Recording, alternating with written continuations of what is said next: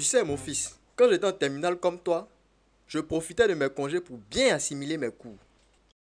Hum, papa Tu as fait terminale à où ça? Mémé m'a dit que tu t'es arrêté en classe de CM2.